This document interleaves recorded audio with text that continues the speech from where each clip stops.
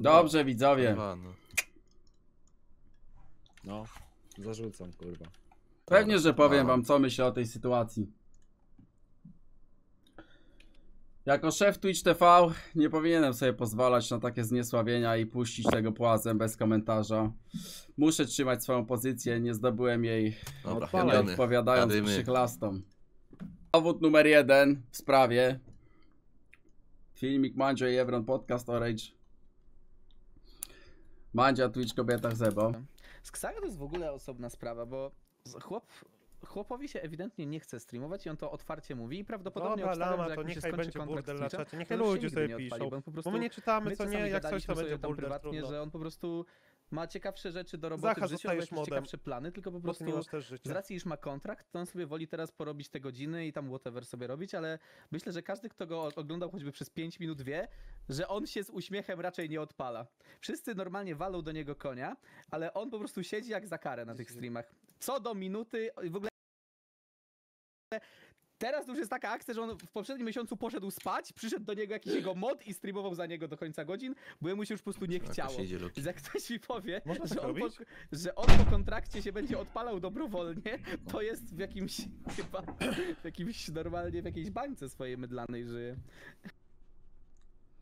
Ciężko jest mi się wypowiedzieć, bo szczerze mówiąc, jedyne co widziałem u Ksajo... Ty, nie wiem kto to gada, ale czemu on się jak tak kiedy- kurwa śmieje? Aż mi się żygać chce od tego śmiechu, jak on coś gada. Kto to mówił na tym podcaście? Evron. O, Dobra. kurwa. Gdzieś, wiesz, usu, wiesz Pierdolę. usłyszałem o nim, widziałem, Ja go, na- przez widziałem go na Twitchu, obejrzałem sobie shoty, pośmiałem się, że, że śmieszne i tyle. W sumie jakoś też nie siedziałem tak, że byłem jakoś mega też mocno zainteresowany Twitchem, szczerze mówiąc, szczególnie polskim Mhm. Twitchem bardziej. Zagranicznym byłem, ale nie za bardzo polskim Twitchem, zatem szczerze mówiąc ciężko jest mi wypowiedzieć się cokolwiek na temat Xayo, bo po prostu troszeczkę nie było mnie tam. Misnąłem to, w sensie misnąłem moment jak się wybił, jak urósł w popularności, jak został, wiesz, że tak powiem, królem polskiego Twitcha, bo myślę, że możemy go tak nazwać, ponieważ wynikowo jest zdecydowanie największy ze wszystkich.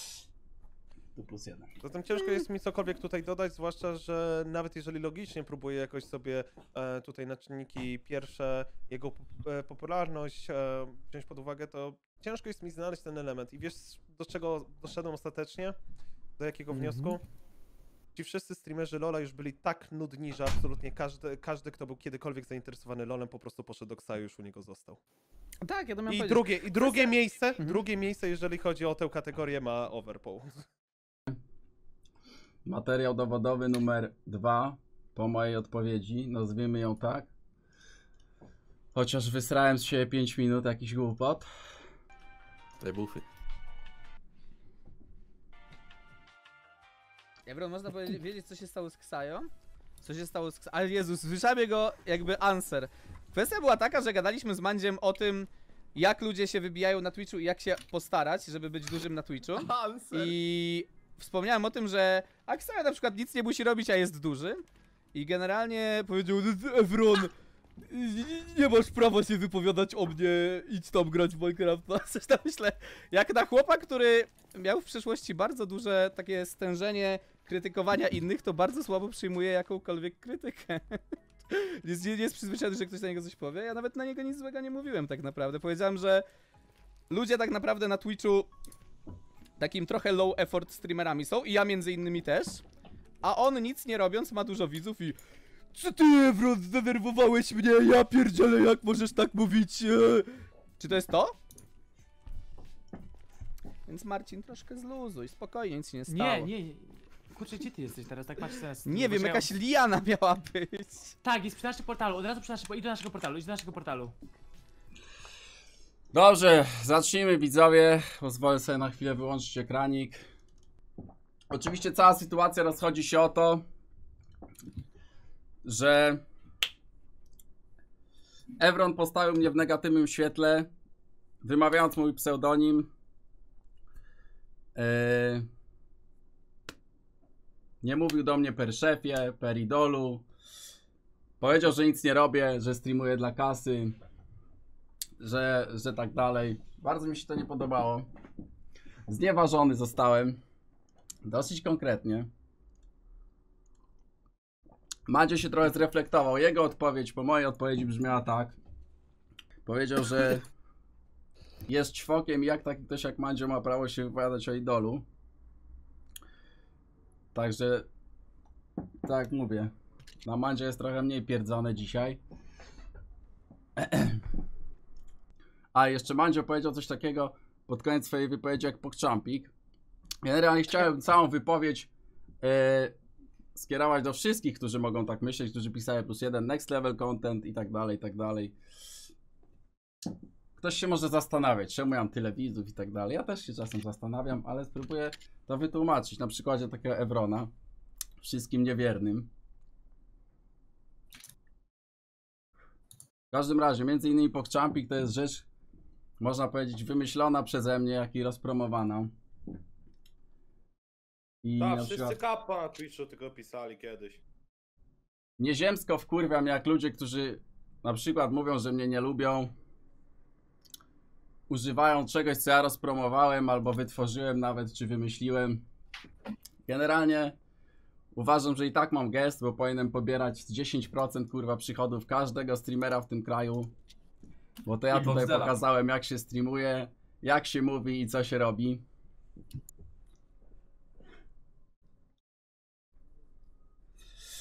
Ale do tego jeszcze przejdziemy.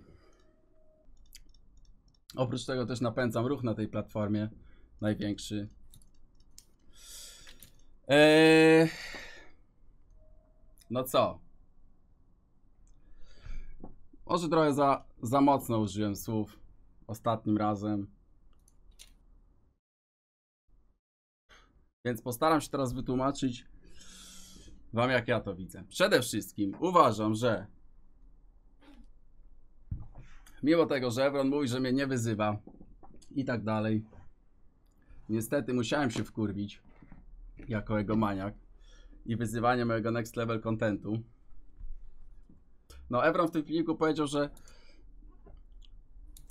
nie przyjąłem krytyki lub też słabo przyjmuję krytykę, więc jeżeli nazwał to, co powiedział krytyką, pozwolę sobie odpowiedzieć. Wcześniej uraził mnie tylko fakt, że z jego kwadratowej buźki moja ksywa padła w dyskusji z innymi twórcami Minecraftowo-Fortnite'owo-youtuberowymi, z którymi nie chcę mieć nic wspólnego, więc jest to dla mnie jest to dla mnie obraźliwe. Od tego się zaczyna cały temat. Ja mogę być pełny jadu, ale jeżeli ktoś uważa, że Evrona nie boli dupa po tym, co powiedział, specjalnie czytając i specjalnie ubierając to w takie słowa, żeby się nikt nie przyjebał, że mam tyle widzów, nic nie robiąc i tak dalej. Evron ma oczywiście teraz po pierwszych przyrostach, nazwijmy to olbrzymi, kwarantannowych, taki, taką świeżutką myśl streamera, żeby powalczyć o pozycję, no ale ale nie podskakuje się do szefa. Widzowie. Ja myślę, że podstawowy problem Evrona jest taki, że wie, że jest zabawiaczem dzieci. Stał się wieczorynką, pluszowym misiem w niebieskim domu, którego rodzic może mu puścić dziecku, żeby kto inny zmarnował mu dzieciństwo. Tak powiem. Evron czasami przychodzi tu na czat, pisze różne rzeczy i zostaje odesłany ze śmierdzącym serkiem. Bufy daj Ja ogóle... Myślę, że A, Myślę, że Evrona to boli. Osobiście myślę, że pierdzi na swoją publikę, a nawet nią gardzi. I uważam, że trzeba być lekko pierdolniętym, żeby robić content dla dzieci. Dlatego też uważam, że jego następnym marzeniem jest Dobra, parmuj Quake'a. niespełnione Mi rozpra rzucę. przejęcie mojej publiki, która która nie pozwoli ci mówić kek i czaty. Także Evron, doszliśmy do tego, że zazdrości mi pozycji Gigacoxa, tak? Trochę tak jest. Być może nawet zazdrości mi tego, że widzowie mnie wyzywają. Bo tam, tam ludzie są pasywnymi zjadaczami gówna. Tam co się im da, kurwa, będą zadowoleni albo wyjdą do, do Mandzia. Evron bawi swoich dzieci, swoje dzieci podpierdolonym kontentem, czy to zagranicznym, czy z tego kraju, czy ode mnie, czy od innych streamerów.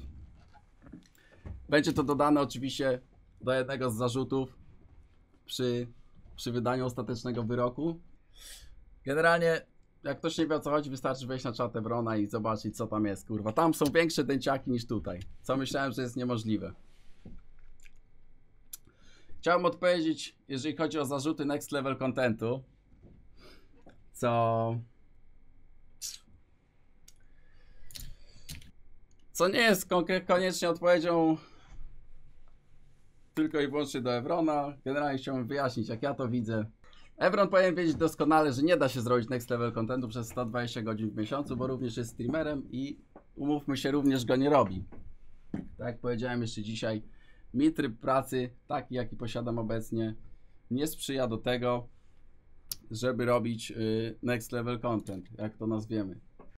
I w sumie się cieszę, że go nie robię, bo w tej erze, gdzie widzów jest kurwa multum, jest ich łatwo przyciągnąć. Tak jak mówię, przeczytałem komentarz po prostu Arka pod filmem jakimś, czego wyzywam, że kiedyś mnie oglądał, bo jak było mam talent, to teraz ogląda Woli Evrona, bo tam się można wychillować. Także ma to swoje plusy. Nigdy nie celowałem w publikę YouTube'ową, Minecraftową. Nawet chciałem ich często wyprzeć. Powiedziałbym nawet, że są tu niemile widziani. Staram się ich korygować i uczyć. Mówić, że są pierdolonymi dęciakami i że mają się podszkolić, dorosnąć i potem tu wrócić. Zamiast udawać, że wszystko jest ok i. I żeby zostali. Generalnie uważam, ja osobiście, że oglądanie Twitcha to jebane marnotrawstwo czasu. I mówię to swoim widzom od zawsze. Więc jeżeli mają coś lepszego do roboty, to mają wypierdalać w tym momencie z tego streama i ewentualnie wrócić tu w swoich wolnych godzinach. Ja mam akurat taką robotę, cieszę się, że mogę z tego zarabiać pieniążki. Generalnie nie chciałbym, żeby moi widzowie zostali uzależnionymi od streamera, który się odpala codziennie od 19, bo uważam, że to jest niecna praktyka. Takie pobieranie widzów. Ja wolę swoim widzom powiedzieć, że wypierdalali, przyszli tu w wolnym czasie, jak mają ochotę spędzić ze mną czas, cenią sobie moje towarzystwo. Uważam, że odpalanie się codziennie o 19, mając taką widownię, jest mieszaniem im w głowie. I jest to niespełnianie się z obowiązku influencera. Nie ma w tym żadnej idei, bo oni sobie nie znajdą nic lepszego w życiu do roboty. O, oczywiście gram sobie w Liga Legend. Tak jak mówię, całe życie gram w Liga Legend. Liga Legend to moje życie. Nie zabraniajcie mi żyć. W każdym razie, do ne- do next level contentu przejdziemy zaraz. I dlaczego teraz grając w ligę, nazwijmy to, to jest powtarzalny content, może już nudny, ale dlaczego dalej to robię i dlaczego mam widzów? I czemu ty nie możesz zagrać w ligę i nie będziesz miał tylu widzów na przykład? O, chciałem jeszcze powiedzieć, co jest next level contentem. Ja mam powiem, co jest next level contentem, czego kurwa w internecie widziałem prawie nikt nie robi. Granie w gry albo robienie czegoś z ludźmi, którzy nie są zjebami, kurwa, cringe'owymi youtuberami. Tylko normalnymi chłopakami. Ja do swoich ludzi wyciągnąłem rękę otwartą, oni do mnie też. Owszem, to o nas. Siema. O nas! I se razem tworzymy grupę. Nie próbuję wyciągnąć zasięgów z degustatora chrupek. No dobra. Nie, no zaraz cię popłaczę. Poczekaj, chodzi o... A chuj z tym, wiecie o co chodzi. To, dlaczego mogę robić to, co robię i mam tylu widzów, to jest kurwa... Renoma. Bo Marcin Majkut to jest kurwa legenda starej gwardii. Zrobiłem kurwa w streamerskiej karierze multum rzeczy, multum popierdolonych rzeczy, czasem cringe'owych, czasem zjebanych. Ludzie się nawet tego yy, inaczej. Coś innego chciałem powiedzieć. W każdym razie zrobiłem w chuj rzeczy. Zna mnie mnóstwo osób. Po konkursy kurwa freestyle'owe, po zwykłe, po nawet jebany freestyle zwierzęcy, po scenki aktorskie, po wszystko. Sprawdziłem się fachu streamera, takim trochę stand-upowym, którego w Polsce po prostu brakuje. Z tego kanału wyszło mnóstwo memów, mnóstwo pięknych shotów, mnóstwo kurwa chwil. I próbowałem znaleźć coś o Evronie. Widzowie. Z ciekawości wpisałem quizy Evron w Google. Powtarzają się tam dwa pytania. Trzy, przepraszam. Ile ma lat? Jak ma na imię? I kiedy poznał Izaka? Nie ma tam kurwa żadnej ciekawostki, na której mógłbym zawiesić oko. Zrobiłem w chuj konkursów, w chuj się bawiłem z widzami. Stworzyłem rzeczy, których ty razem z widzami używasz do tego, żebyście się razem dobrze bawili. Jedyne co pamiętam z twojej twórczości to to, że zrobiłeś konkurs mody w Fortnite na najlepsze combo skinek plus jebany kill. A to jest podjebane od streamerów WoWa, bo oni robili y, konkursy na... To jest w ogóle podjebane ze Transnogi. streamerów z zagranicy. Ta, Prawdopodobnie non-stop to też było. podjebane.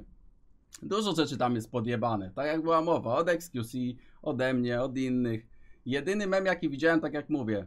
Nawet zreinkarnowałem Rafonixa i Boxdela, kurwa, bo prawdopodobnie beze mnie obecnie byliby w zupełnie innym miejscu teraz. Zrobiłem dużo rzeczy. Takich, które zostają w pamięci. To też było next level contentem. Tak już zostało. A że mi się akurat kurwa chce akurat teraz grać w ligę, to se mogę grać w ligę i wywalić fiuta właśnie dlatego, że ja już swoje udowodniłem. Oczywiście, jak będę chciał, to se zrobię show. Ja nie mam z tym problemu. Akurat teraz nie miałem kurwa ochoty. Jak zrobiłem coś zjebanego, to pewnie dlatego, że chciałem zrobić coś zjebanego. Jeszcze tutaj takie pierdolenie, można powiedzieć, że to o, ja jakieś trendy stworzyłem nawet. Przyczyniłem się bardzo mocno do tego, że ci ludzie oglądali na GTA RP.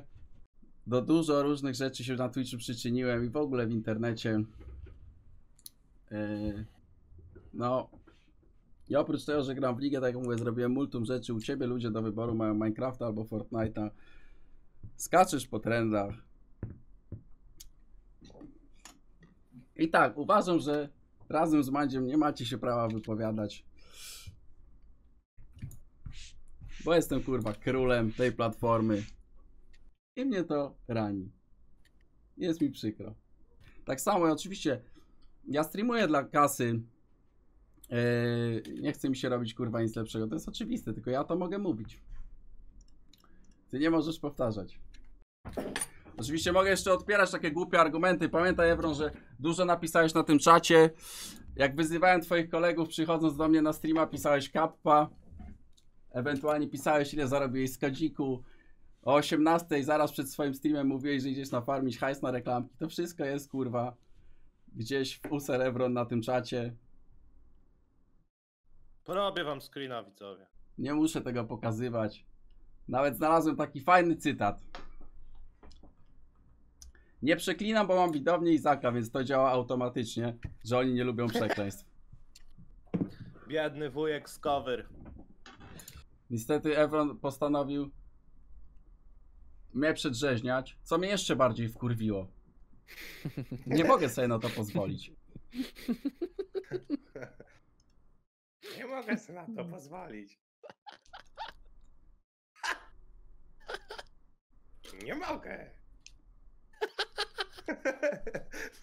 Marcin, proszę. Poczekaj. Poczekaj.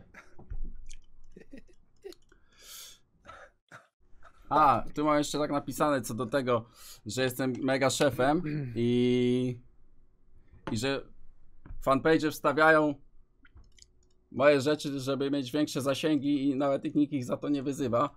Pokaż mi jeden fanpage, który ciebie wstawia oprócz Fortnite'owych myśli, kurwa, i nikt się przy tym nie skręca. I jeszcze tutaj mam zapisane, że próbowałem szukać jakichś osób, kurwa, które cię oglądają. Niestety nie znalazłem. Twoi koledzy wiem, że mi komentowali filmiki na YouTubie. Wszyscy, z którymi teraz grasz. W widowni miałem takich ludzi jak Freeze Tromba, Multi Gameplay Guy, inni, nazwijmy to twórcy internetowi, którzy byli moimi widzami. Także generalnie trzeba było zapytać kolegów, że nie jest warto wypowiadać pseudonimu na, na daremno. Trzeba o tym pamiętać. Także oficjalnie możemy przejść do oskarżeń. Chyba już nic tutaj ważnego nie mam. Tylko to chciałem wyjaśnić. No, jeszcze oprócz tego, to co mówiliśmy dzisiaj o lidze. Liga to jest największa gra, sam to powiedziałeś. Ja w tym roku bardziej postawiłem na to, żeby zainteresować widzów small talkiem, graniem z moimi ziomeczkami, stworzeniem tych ziomeczków, zrobieniem sobie ekipy. To też jest dla ludzi ciekawe.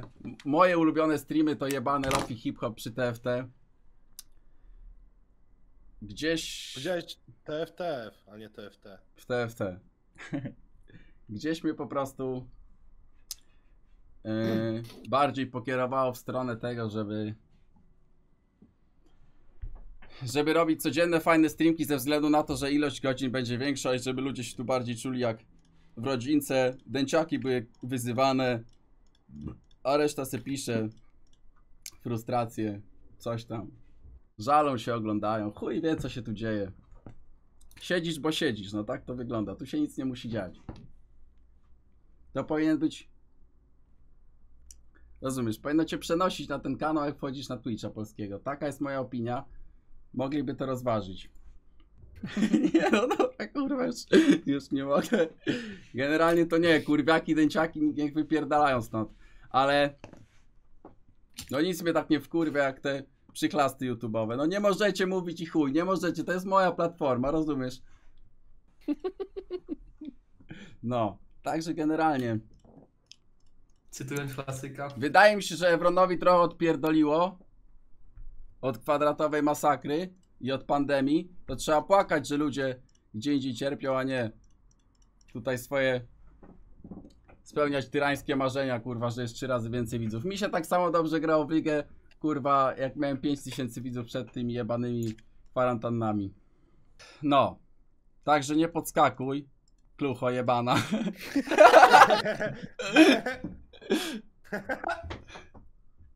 Ja pierdolę. Dobrze. Przejdziemy teraz do oskarżeń. Yy, nie sprawdziłem informacji o o sfałszowanych giveawayach robionych przez Evrona. Doszło to do późniejszej dokumentacji nielegalnymi źródłami, także nie wykorzystam tego przy stawianiu ostatecznego wyroku. Evron, oskarżenia. Spoufalanie się z YouTube'owymi klaunami. Używanie KGW. Podpierdalanie kontentu od innych i liczenie, że nikt się nie połapie. Nadmierna ekscytacja i fałszywe nadawanie akcji z jebanym klepą na Minecrafcie. Jako influencer sprowadzasz swoich widzów na drogę bycia życiowym nobem. Wielu z nich przyprawiłeś o raka uszu. I najważniejsze, oszukiwanie samego siebie, że to twoja osobowość. Na mocy praw, które ustaliłem sam, skazuje cię na dożywotnie śmierdzenie tęgim klocem.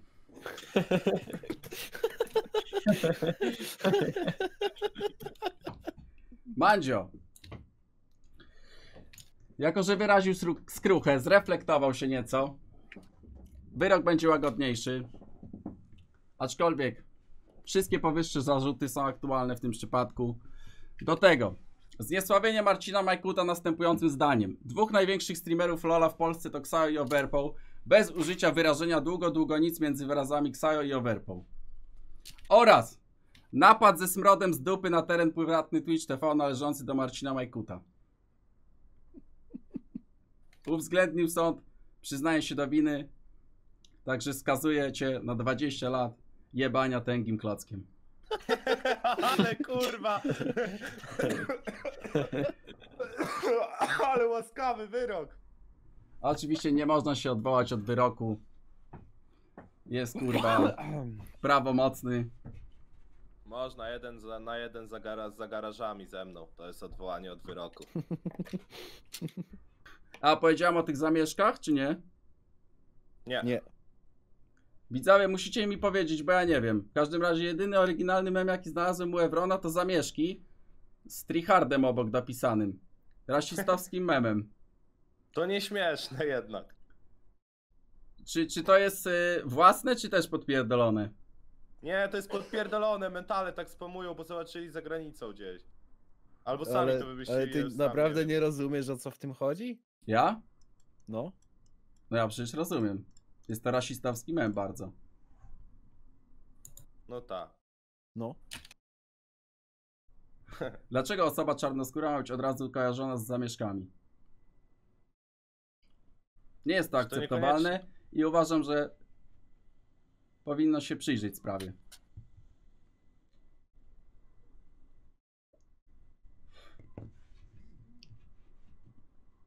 No, także widzowie, kochajmy się i, i rozwiązujmy problemy tak, jak powinny być rozwiązane. I tyle, dobra. Już mi się nie chce. Amongasik? Nie no, już mi głowa wybuchała przed tym, to teraz to już na pewno idę spać.